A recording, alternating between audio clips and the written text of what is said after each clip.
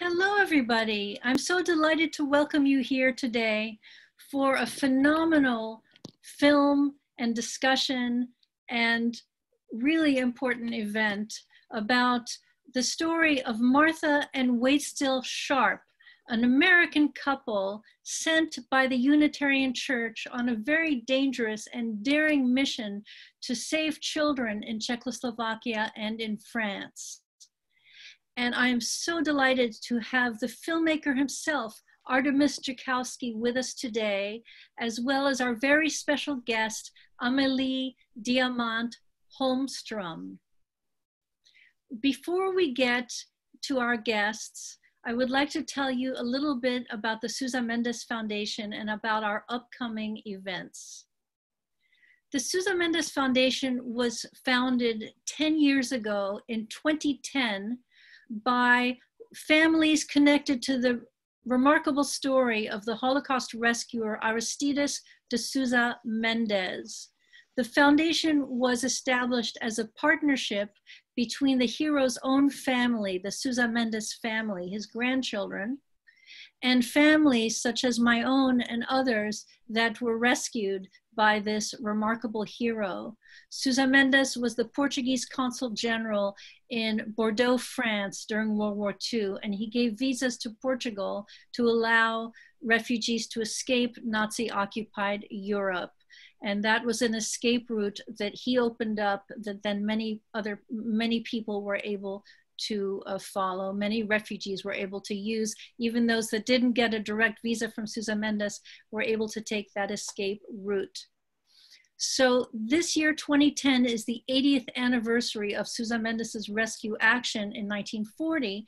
And we had a whole series of events that were planned to mark the anniversary. But unfortunately, we're now in lockdown, we have COVID, and all of the plans had to be scrapped. And so in, its, in, in place of these plans, we have been running this series of beautiful stories of hope where we are highlighting not only the Sousa Mendes story, but all of these other beautiful stories of rescue and escape and of life. So let me now tell you about our two upcoming events. And later today, after the program, you will receive an email with links to be able to sign up for those events. Next week, August 9th, we take you to Greece, to a Greek island, where we see the rescue story of a Jewish family by an entire island who kept the secret of this family. And uh, there's a book called Something Beautiful Happened, which was written by the granddaughter of one of the people on the island. And uh, so it's a personal family story that then has repercussions in her own family today. And you can read the description uh, on our website to get more information about what happened to the family. That is a free program. It's unlike most of our programs, which are films. This is actually a book talk. Uh, it's a talk based on uh, this woman's uh, memoirs. Her name is Yvette Manessis Corporon, and the book again is called Something Beautiful Happened. And Yvette will be interviewed by Miriam Klein Kassenoff of the University of, of Florida um, Holocaust Teacher Institute, University of Miami, excuse me. And um, they are co the Holocaust Teacher Institute is in fact co-sponsoring the program next week. The following, in, uh, following week, we take you from Greece, we take you to Italy, and there we're going to be sharing a story called Shores of Light. Shores of Light. Mm. And if you're familiar with the geography of Italy being itself a boot, then you know that the heel of the boot is over in the southeastern corner of the country. And that is where the American Jewish Joint Distribution Committee set up displaced persons camps for people coming right out of the Holocaust. Immediately after the Holocaust, there were several thousand who went to the heel of Italy's boot to these displaced persons camps. And that was a time when weddings were happening and babies were being born, and the refugees were filled with optimism for the future. They sort of drew a curtain on their past and they looked ahead uh, at the unknown, full of promise. And we're going to be uh, showing a film on that subject called Shores of Light. We have the filmmaker, we have one of the people whose life story is told in the film, uh, who herself was born in one of these displaced persons camps. And we have Mordecai Paldiel, an expert on Holocaust rescue, as well as Natalia Indrimi from the Centro Primo Levi in New York. So that's in two weeks, and you won't want to miss that program. And we'll show you uh, a little trailer for that program at the end of today's program. So uh, now we are coming to today. So we're going to together watch a little video where you're going to meet Amelie Diamant Holmstrom, and she's going to be seeing her voyage after being saved by Martha Sharp. You're going to see her voyage to America and her experiencing that voyage today through virtual reality. So let's watch this short video together and then you'll meet the star. Have you ever heard of virtual reality?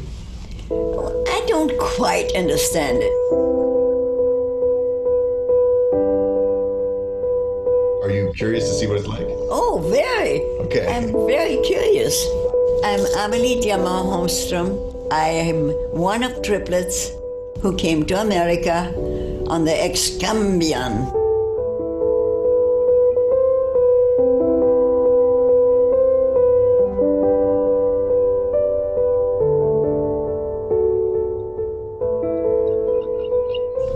Mon Dieu. Oh mon Dieu. It's beautiful.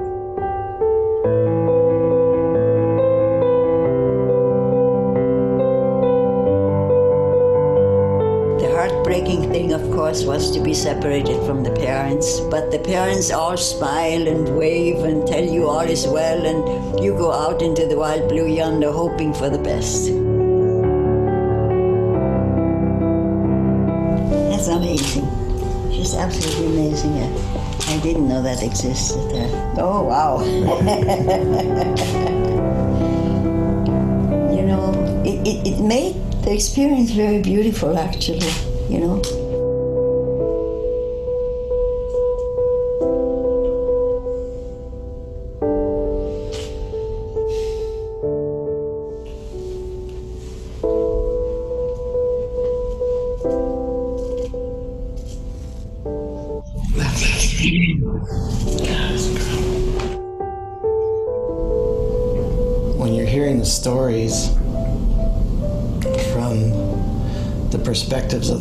Were separated,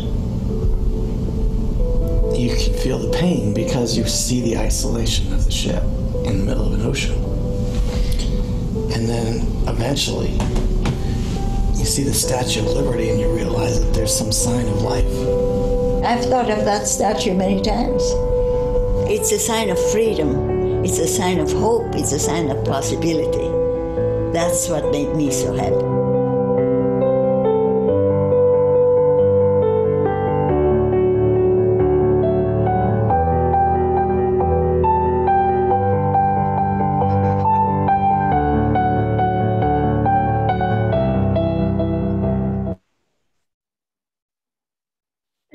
My great pleasure to introduce Amelie Diamant Holmstrom, who is a teacher and an author and who has a lot to tell us today. It's my real pleasure to be here because I can share the magic of America, its possibilities, its hopes, its dreams, whatever America has to offer to those who are in trouble. Life for me was in Vienna a magic experience. I had parents who protected us, taught us wisely how to be kind and giving and sharing. And every moment of our lives, we knew that it wasn't just all about us, but about people all over the world. Then we had the misfortune of the Holocaust, and everything changed. Things were very confusing, and we were lucky enough to get on the Excambion, which was a ship that brought single children. And I must tell you, I am not single, I'm one of triplets Amelie, Evelyn, and Marianne. And luckily, the three of us were able to experience the, the voyage and to share it with so many single children on the boat. So it was my idea at the time to look at Evelyn and Marion and say, look, we are blessed. We have each other. We have three languages we can speak. Let's each one of us be the mother of one third of the children and let's make them a family so that they too belong and could share and could relax and know someone cared about them and loved them and wanted to share their pain and their joy. We went on the Excambion, Evelyn, Marion, and I, at the front of the ship because we were triplets and it was kind of a, a, a good show for the boat to have three little girls who were at time at that particular time pretty cute to look at the world. And there we were arriving in New York at the Statue of Liberty. I cannot express in words what this moment meant to us. It was a moment of hope, a moment of protection, a moment of sharing and caring, and a moment of magic. We were then, as we were on the, on the boat, taken to Orange, New Jersey. Our, our sponsors at the time were Martha and Waitstill Sharp, who were fantastic in giving us courage and hope. I do not want to ever forget the power of my good friend Artemis Joukowsky, who filmed all of this and gave us moments of joy and peace and magic. If I were in charge, the first thing I would do is give him a, a medal of honor because he is such a warm, caring, impossibly wonderful man. He loved the children, he loved his life. He has had many challenges of his own, which he forgot in order to help others.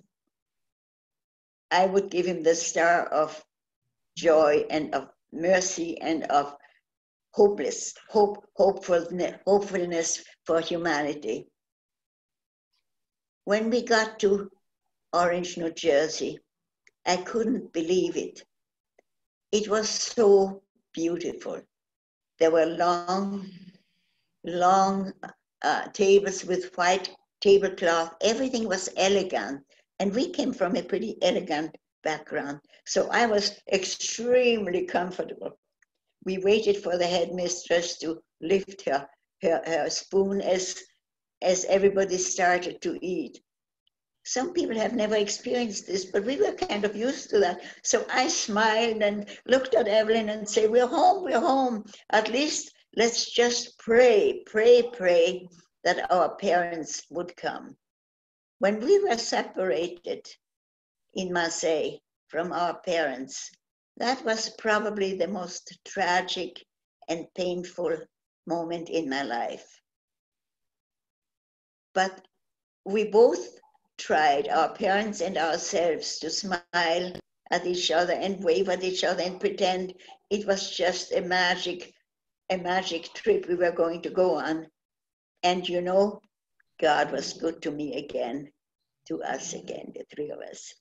He brought our parents six months later, and we went to Portland, Oregon, where my father could be a dentist. My wonderful father, Rudy Papa, he, he was a magic person. He is in my mind all the time.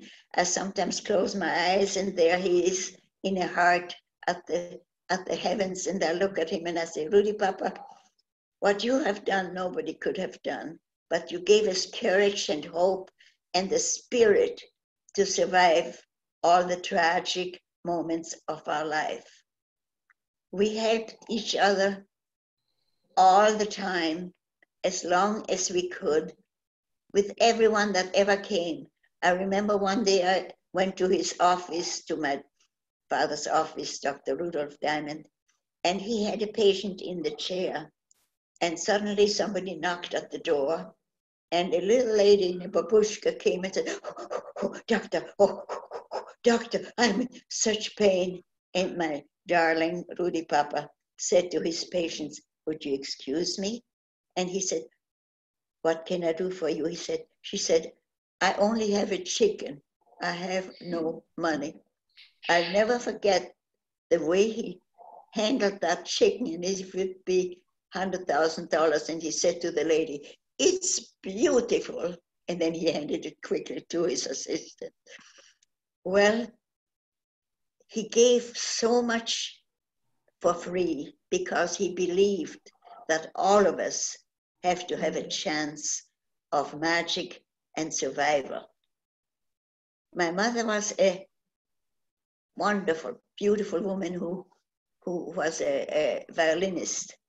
And on our trip, she would play the violin uh, on, on our trip from not not not into into America, but our trip from northern Paris to southern Paris, she would play the violin walking next to us while Rudy Papa would tell us stories and keep us from being hungry by saying, let's sing, children, let's sing. And we'd all forget that we were hungry till we got to the next Red Cross station. So you see, in so many ways, we were so very, very blessed. To this moment, I feel as if God had a hand in my in on my shoulder.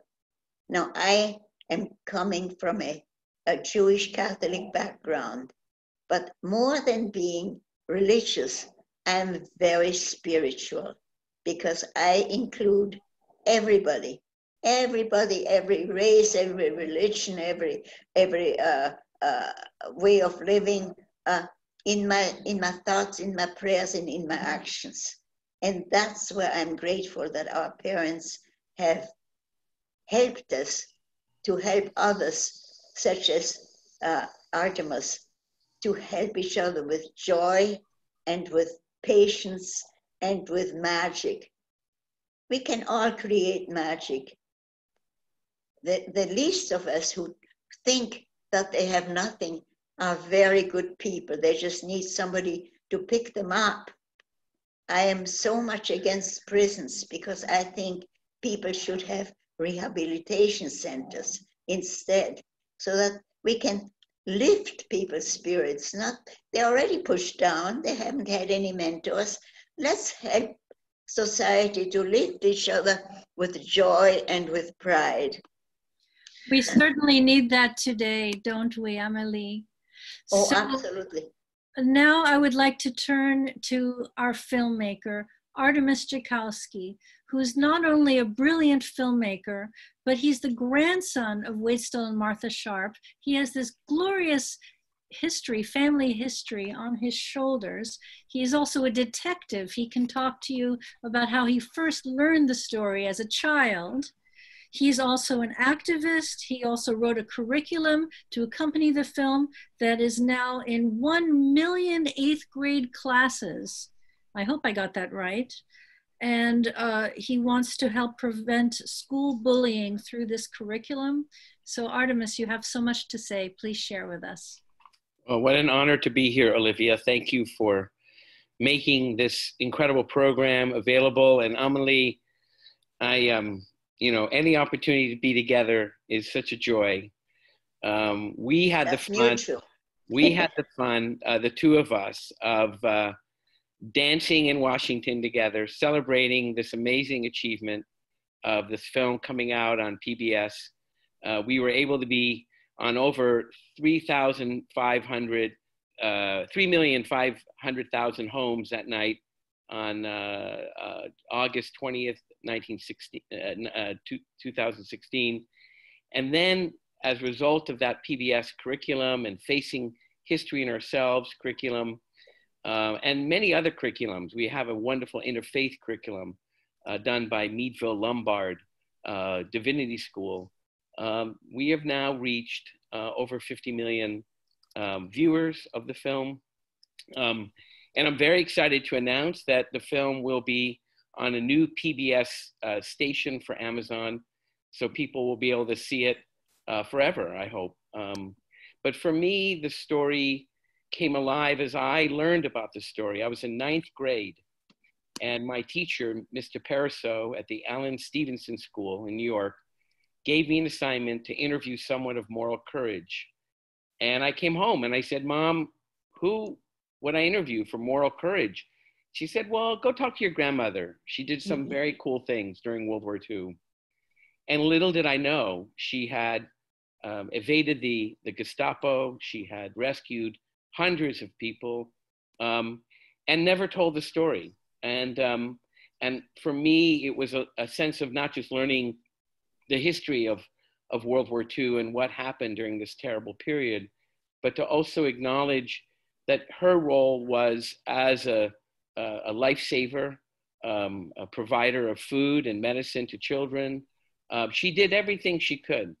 Um, and, and the most amazing part of the story was to see her relationship with Eleanor Roosevelt. And, and Eleanor would give to FDR once, once or twice a day a note of what he should do. Uh, and one of the first things he said is help Leon Feuchtwanger escape, um, which was a very well, well-known German Jewish writer uh, who was hiding and uh, Waitstill es- escorted him to, uh, to the United States. Um, and this this was part of the the, the the the beautiful legacy of this story is that Amelie and her sisters um, were saved uh, by the Unitarians, not just my grandparents. It was a, a full network of underground activists. My grandparents were just part of um, a major system of the underground. Um, and with the fun of working with uh, Mordecai Paldiel, Dr. Paldiel, uh, at that time from Yad Vashem, we were able to uncover 440 names uh, of people that they had helped uh, to either directly rescue or support their rescues.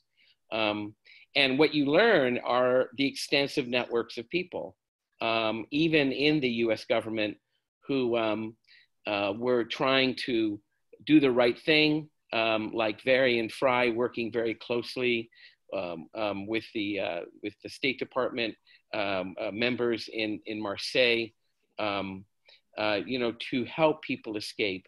Uh, and it was by any means necessary. And uh, Amelie and her sisters uh, were able to uh, be identified by my grandmother. her parents came to, to my grandmother and said, can you save, bring my children to America? And she said, of course, we'll do what we can. And it all worked. Um, later, that same ship Excambion was sunk uh, and all the people on that ship were killed.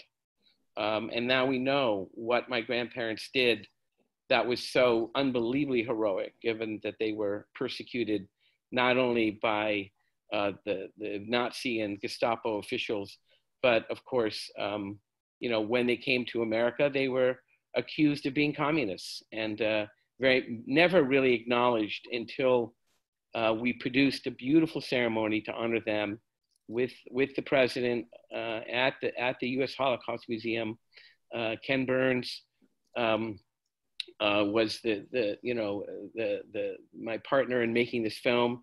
And we really had a chance to not just expose what my grandparents did, but help produce a show at the Holocaust Museum that is all about um, uh, the, the, the US response to rescue, the, the, the limited number of stories, but the important stories uh, of the Sharps and others. Uh, and now there are just five Americans who are not honored at Yad Vashem.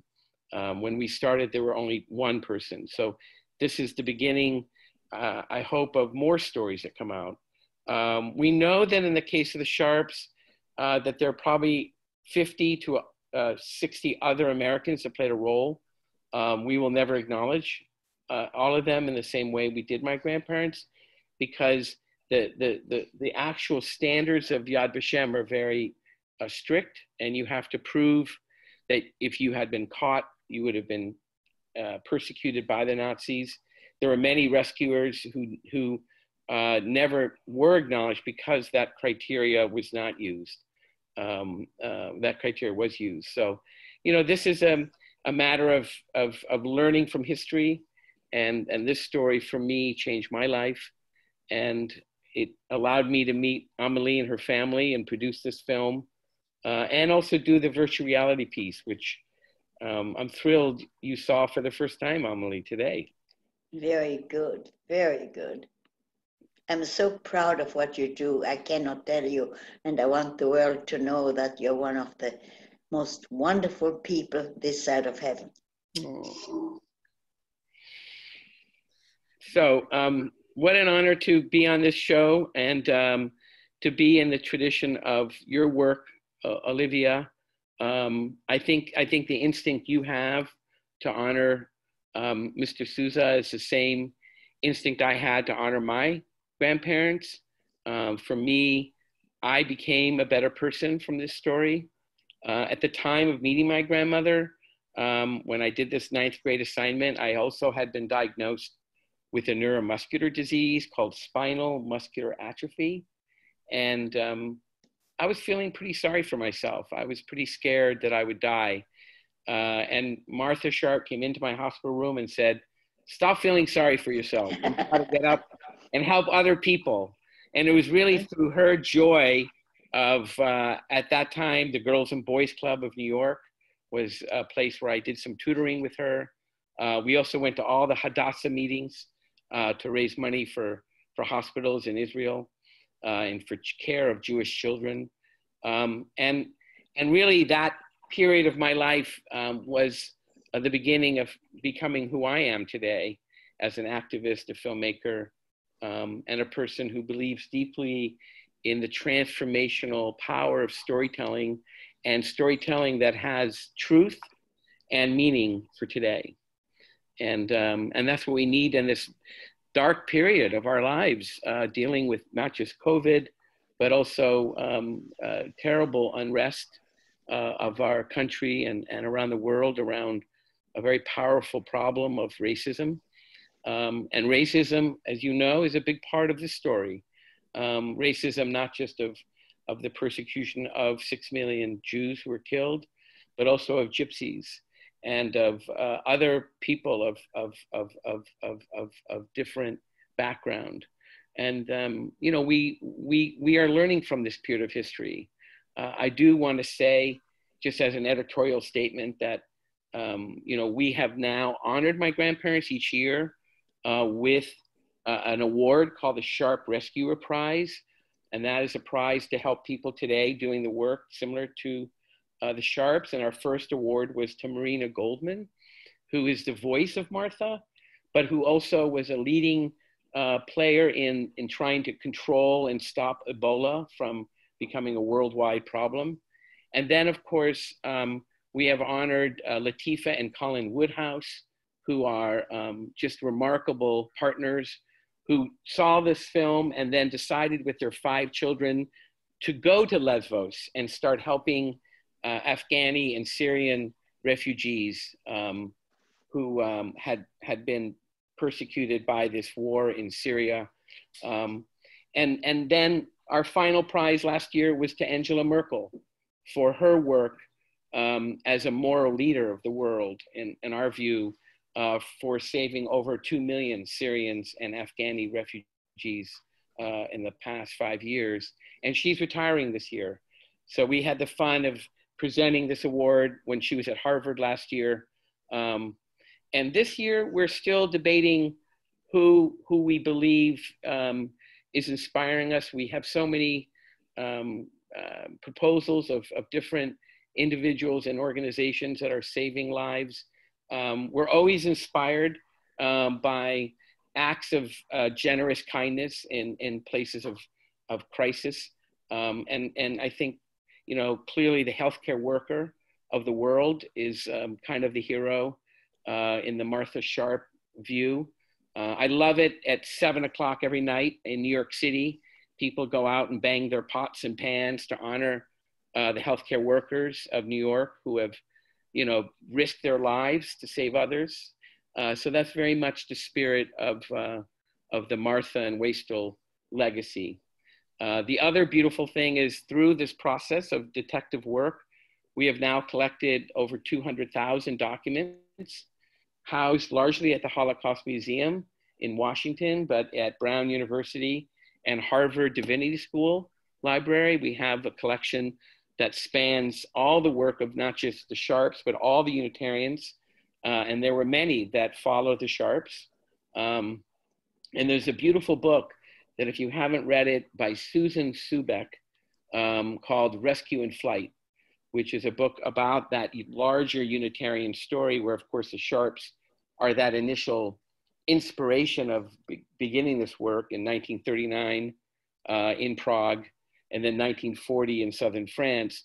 But then you go and see the continuation of that work uh, until today. The Unitarian Service Committee is among the most important um, uh, um, uh, activist um, and, and civil rights organizations around the world, supporting workers' rights, uh, supporting the, the, the, lives of women, uh, have been active all throughout the world where there have been uh, civil rights abuses um, and, um, and, and are trying to use the human dignity of love to rescue others.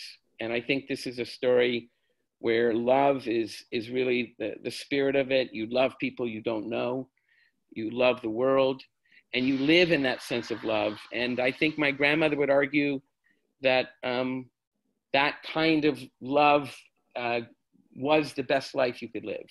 You know, was the life of, of uh, as as Amelie will will uh, hopefully sing for you, to be a mensch, to be a good person, to be a person who who loves others uh, and is and is um, you know is guided by that sense of, of being a good person. So now, Artemis and Amelie, there are questions that are starting to accumulate in the chat window, and I do encourage people to start putting their questions in for Artemis, uh, not for Amelie. She would prefer not to be answering questions directly. So Artemis, uh, let me ask you uh, the first question, which is who financed these missions? Well, that's a great question. Um, and, and if you want to learn more, I have a book called Defying the Nazis that describes the detail of that one of the great things about my grandfather was that he was a, a, stickler for these kinds of details, so we know exactly where the money came from. Largely, it was raised by the Unitarian Church in Boston. Um, Unitarians, for people who don't know, are um, out of the Judeo Christian uh, history. They don't believe that Christ was necessarily the Son of God, although some Unitarians are very Christian in their orientation. They're more in the ecumenical spirit of Christ consciousness and of the Christ story. And Christ, as you well know, is, was a Jewish carpenter. And so we have to acknowledge the Judeo part of, of the Christian story, uh, which goes back, you know, as the oldest tribe of, that we know of in terms of writing and, and of history. Um, and it's uh, one of these beautiful things that I learned as a young man to understand both the Old Testament and the New Testament and to understand the connection between these stories of faith, of courage, and of history. Um, but I think the most important groups that funded them were individuals. They got a lot of individual donations from um, well-to-do Bostonians, particularly, uh, who believed in, um, in, in, in, putting money into charity and support of others. Um, you know, this story started with the sister church of the Unitarians calling the Boston office and saying, don't send us money, send us Americans. We actually need Americans to come here because the only thing the Nazis are afraid of are Americans. And my grandparents came as Americans, very naive of what that meant, because everyone thought they were actually the, uh, the consul office of refugees, uh, which they weren't. Um, but what you learn in this story is that um, certain members of the, of, the, of the diplomatic corps in, in, in Prague were very helpful to my grandparents to help rescue people. And the British Embassy, of course, was very active uh, at sheltering refugees that my grandparents would bring. Uh, this is, of course, after March 15th, 1939, the Ides of March, where the Nazis actually invaded Prague and, um, and, and this crisis really came to a head. Um, Artemis, another question for you. Yes who did your mother, your grandmother, excuse me, who did she marry in 1957? And it seems from the film that she continued her work with Jewish children. Can you please speak about that? Yes, yes. Well, my mother, my grandmother what, never had met a Jewish person until she rescued someone. Um, it's kind of an amazing part of the story that she really knew nothing about uh, the background of Judaism until she saw the persecution firsthand. Um, and I think one of the memories I remember her telling me was one day a Jewish family came to her home with their menorahs, with the silver chalice, for all the, the, the, the their, their most highly Jewish related um, uh, uh, uh, possessions to say, we can't have these or, or people will know that we're Jewish. Uh, can, you, can, you, can you hold these for us? And I think that opened their eyes deeply uh, to that. She, um, and my grandparents divorced uh, in 1955, and my grandmother remarried um, a Jewish man named David Kogan, who was um, um, educated in Boston and went to Northeastern, and then was really an investor, became a very successful investor. Uh, so she had the fun with his relationship to be very active in groups like Hadassah, uh, Youth Aliyah, um, you know, organizations that were trying to help children, uh, working uh, actually quite closely with Henrietta Szold uh, and other uh, leaders of Hadassah, um, and, and, and spent her life supporting that work uh, until, until she died. So here's a question, which is how did Ken Burns become involved? And I would like to ask you also, how did you get Tom Hanks involved? Well, one one went to the other. So when Ken Burns uh, first learned of my film, uh, he and I both went to Hampshire College. Um, he was in the first class of Hampshire in 1971, and um, was really my mentor and and the elder of our community. And when my mother would quiz me why I was going to this uh, innovative, interesting, experimental school called Hampshire College in Amherst, Massachusetts, I would say, well, I, I'm, I want to be like Ken Burns. Um, and that's something she understood. Uh, she saw this bright light of a human being with a beautiful uh, capacity to tell stories. And um, uh, it was very uh, important to her that, you know, I, I have a place to uh, express who I was uniquely. So over the years, I would go to Hampshire reunions and show Ken my film, and he would be inundated by hundreds of people uh, giving him DVDs constantly, and he always was so gracious. And um, and then, uh, you know, in about 2012, 2013, I had finished my version of the film, uh, what I put together, and really the innovation I was seeking was to have Martha and Waitstill narrate their own stories. It was very important to me that this not be a third party telling of this history, but this be a, a story where Waitstill and Martha describe their own experience and you feel like you're with them, almost like Jiminy Cricket on, on the shoulder, going with them, seeing these meetings in the rescue.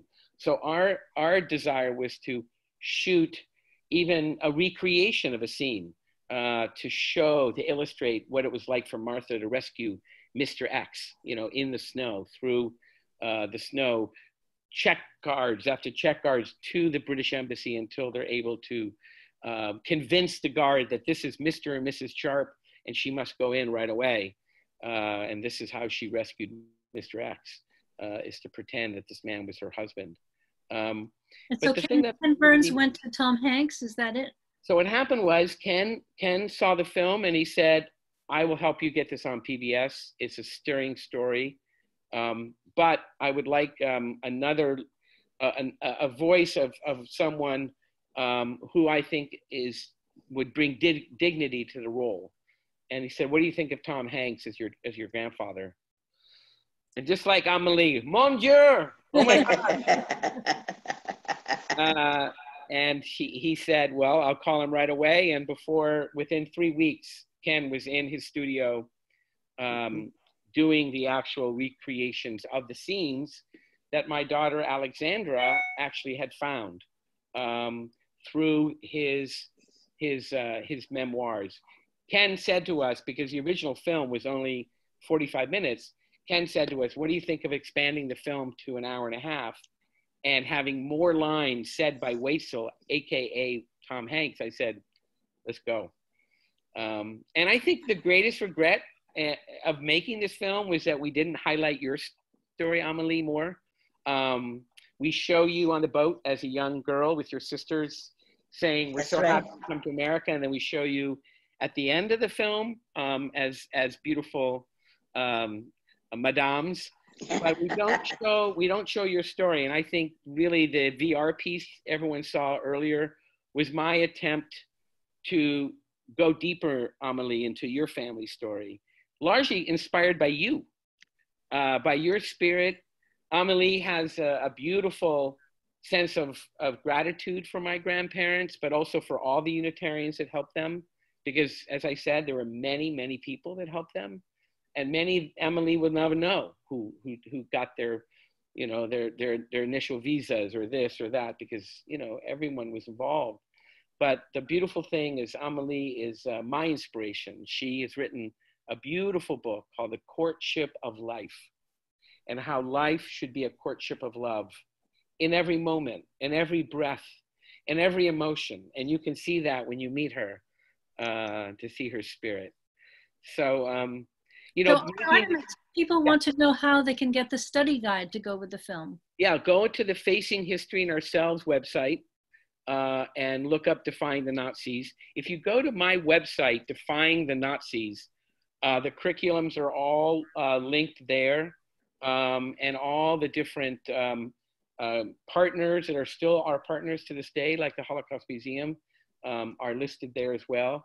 Um, as as um, Olivia mentioned, Mordecai Paldiel, Dr. Paldiel, um, he was a singular figure in this process because this man has made it his life mission to go and find as many stories of rescue that he could find. And in America, there was only one American, Varian Fry, who was honored by Yad Vashem. He was among the first to be honored. But Varian Fry, in his own emotion, didn't want to mention everyone else because it was too confusing to mention all these other people. So my grandparents' story wasn't told until I had the, the fun of telling it. Um, on Amazon, you can also find uh, my grandmother's memoirs. We, we've, we've uh, made that available. We are also publishing Ghanda Di Figlia's book um, on my grandmother. It's a very feminist view of my grandmother. And I'm excited to say that we're written a beautiful screenplay by a wonderful writer named Matthew Billingsley. And we are in the process of putting a production for an action packed, you know, uh, summer blockbuster type film uh, where you're, you're actually on the train with Martha and you have to choose how to help. You're not just passively watching the story, but you're kind of in a virtual reality experience. You're, you're part of the solution. Uh, and really my mission as you mentioned about bullying, is really to to talk about rescue and and being an upstander. And this is the word that's used in the curriculum at Facing History. Um, you know, there there are four ways that we are in the world. We are we are sometimes a victim, uh, sometimes we're a perpetrator, sometimes we're a bystander, and then we have this moment in life to be an upstander. And this is a choice. This is not just a, a whimsical thought, oh, maybe I'll be an upstander today. It comes from our spirit of being compassionate and loving to others, uh, but it also is our, our anger and our enmity toward evil and to striking it down and to, and to stopping it. And I think my grandparents felt very strongly that, that they weren't going to fight Hitler with a gun, but they were going to go oppose him um, by helping people who were his victims. Yeah. And, um, and, and that's really, I think, you know, the beautiful thing about um, what Ken Burns saw in the film, what Tom Hanks saw in the film. Uh, Tom Hanks loved being Graceville. The recording we have of Tom doing the lines um, was quite beautiful because I think if you see the story, you also feel the compassion of my mother and what she went through as a child who was left behind. Um, then, of course, the sadness of their divorce. Um, and that is a very sad part of the story that, in spite of all this beautiful actions they did, their marriage fell apart. Um, and so, a lot of redemption in this film, a lot of forgiveness in this film. Um, you know, my mother, uh, my uncle, um, really were very not just proud of the story, but proud that Ken Burns took this on and that Ken Burns made this his mission to get an audience of 50 million people. I mean, I produced a film before Ken called Two Who Dared that got an audience of 10,000 people, and we thought we were doing very well. Uh, and that's really the difference of uh, a moral compass like Ken Burns is. Um, so there's some curiosity about your family history. So there's a question Did your grandmother convert? And can you share about your grandfather's second marriage? And I'm actually curious to know about the custody battle because your mother says in the film that she said she didn't want to live with either parents. So right. these are personal family questions, but I'm wondering if you can address. Yeah, them. I mean, I'm even getting goosebumps as you mentioned that because um, my wife and I got divorced around the time that I was making this film, and I was also like my grandfather, just heartbroken. And it was something where I had to learn from them, a that you know you can be angry and and spiteful but really the the real thing is to love your children um, and to be there for them. And this is a very hard thing to go through. And my grandfather um, moved to chicago. He became a civil rights activist. He became involved very early in the aclu's work in chicago on the east side of chicago helping with uh, integration of african americans into the white polish communities there coming home with bloody eyes, you know, uh, having been beaten up by people.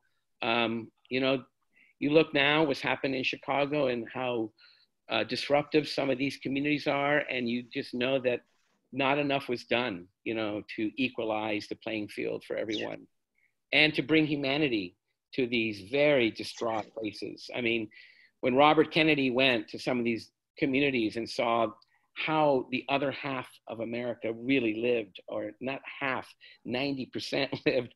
You know, it's really uh, something that was horrifying, I think, to my grandfather to, to see the opulence and the, the beauty and arrogance of America, but also to realize that we had limitations in our compassion.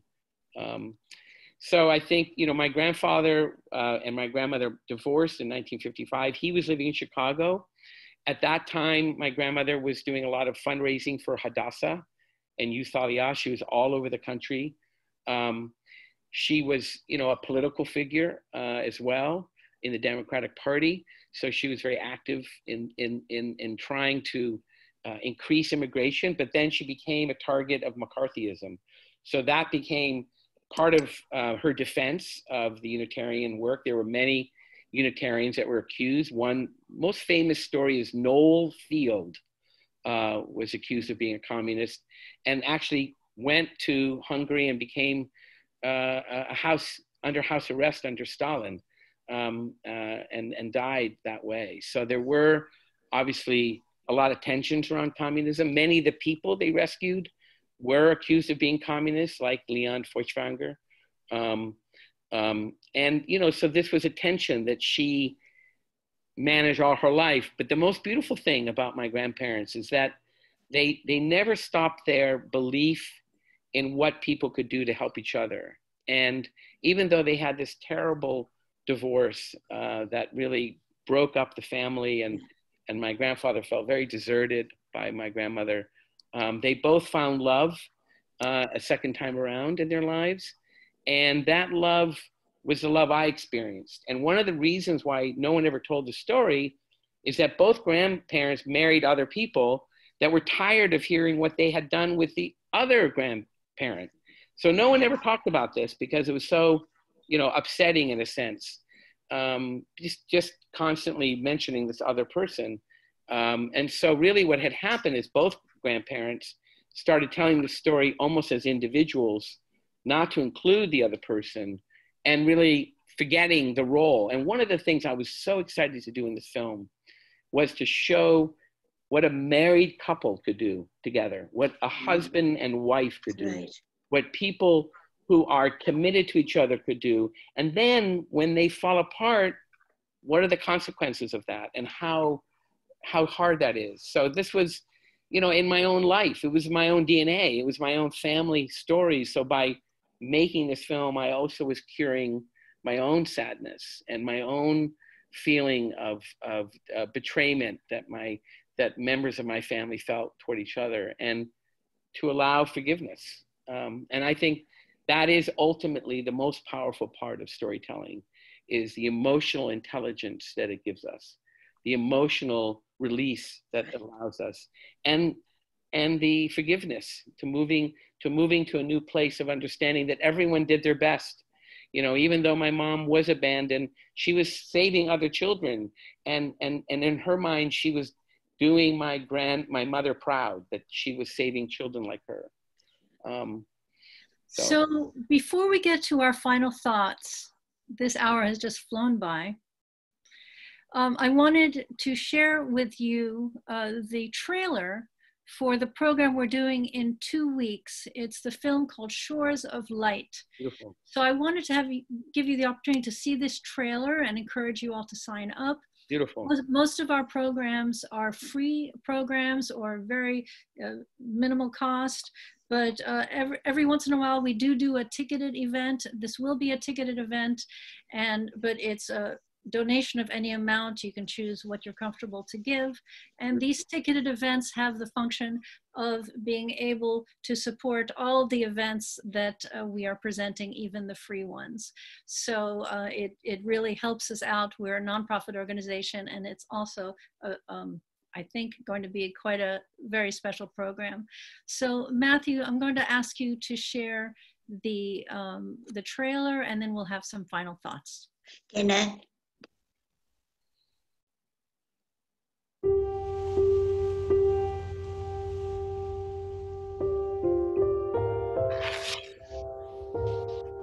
ילדתי אותו בתוך חצי שעה. מהקבוצה שלי כולם היו בהיריון, כולנו, אני חושבת.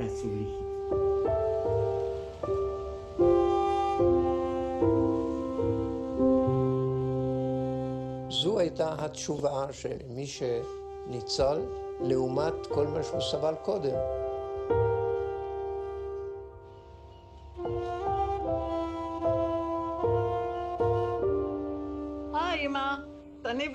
מריה דה לאוקה, בדיוק, בדיוק מול הבית חולים ומול המגדלור. הנה, את שומעת, רבקה ושוני פה על ידי מתרגשות כמעט כמוני. מיליוני פליטים נותרו חסרי בית, ביניהם מאות אלפי יהודים שרוצים להגיע לארץ ישראל. אבל שערי הארץ סגורים בפניהם על ידי שלטון המנדט. חיים מחוסר ברירה במחנות המכונים מחנות העקורים. Questa è la villa Daniele, quella là la villa Tamburini, quella Arditi, tutte queste ville, comprese quelle che stanno dietro, erano tutte piene di, di ebrei, di, orf, di profughi. Al tempo di guerra, con la tessera, 200 grammi di pane a persona. Quando sono arrivati, grazie a Dio, veniva, pigliava il mangiare dentro ai contenitori lo portavo a casa nostra che erano 11 persone e mangiavano. La sera, questo ebreo, facevano delle marce sul litorale, su, vicino al mare, no? Con le candeline cantavano delle canzoni. Io benti shalom, mi viene il pianto a pensare. Io venti shalom, shalom, shalom aleikum. E questa sono io. Quella piccolina è lei. Io? No, no, lei. io, io. È nata Sei stata là. È nata alla colonia, mamma. Eh.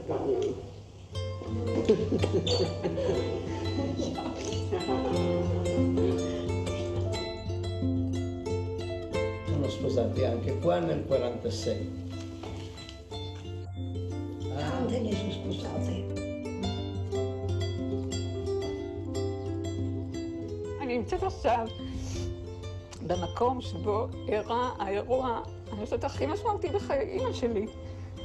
כאילו, לידה ראשונה, אחרי הימים האלה, אחרי כן, השנים האלה של עברה, המרבועים. כן, שזה בעצם היה יום כל כך מאושר.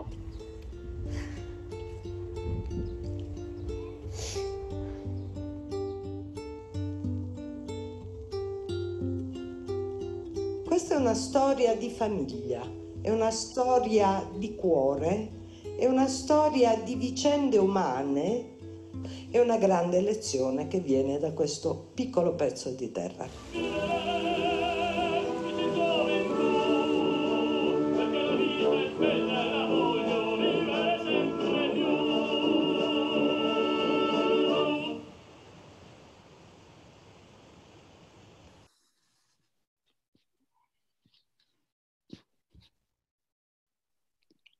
Great. So you'll have an opportunity to sign up for that program uh, when you get the email from us later this afternoon. So now let me turn back to our two wonderful special guests today and ask uh, if one or both of you would like to share some final thoughts with us. I do. Please. I want to sing with you Be a Mensch. A Mensch is a total human being. It's a song written and composed to know that we all belong to the world universe. Be a Mensch, be a Mensch, be a Mensch. Oh, a Mensch is a person who is knowledgeable and kind, who is competent and honest, who speaks his mind, who knows who he is, who leads his best life, regardless of age, 90 or 5. Be a mensch, be a mensch, be a mensch. Oh, a mensch is a person who cares and who shares, respects racial, sexual orientations, religion, the healthy, the disabled, the rich, and the poor, as he reflects that friendship and unity are the essence of life. Be a mensch, be a mensch, be a mensch. And for the Everybody, being a mensch, being in a a world mensch. that is free, to enjoy life's magic and harmony. A mensch is a person who spreads courage and hope. Be a mensch, be a mensch, be a mensch. And I'd like particularly again to give credit to Artemis, who is a total mensch. Wow, Artemis, you're Well, next. I just want to bring it all the way back to you, Olivia, and thank you for making this program happen and for hosting us. And all of you can't see Matthew, but behind the scenes is a, a little Wizard of Oz making all this happen. Matthew, thank you so much. And uh, Amelie, I love you with all my heart. Thank you That for goes being both my man. ways. I have such respect for you. Love you so much. Good. Well, how can I thank you enough? Our two uh, fantastic special guests, and uh, certainly all of you who've given us an hour of your time. Thanks for being with us, and we hope to see you on our upcoming programs. And let me not forget to say a word of that wonderful lady called Olivia, who has spent time and, and, and, and love and sharing and caring with us. We are very, very proud of you. Thank you, Olivia. Yeah, thank you, Olivia. Thank you. And thank you all. Have a nice rest of your day, everybody. See you next time. Bye bye.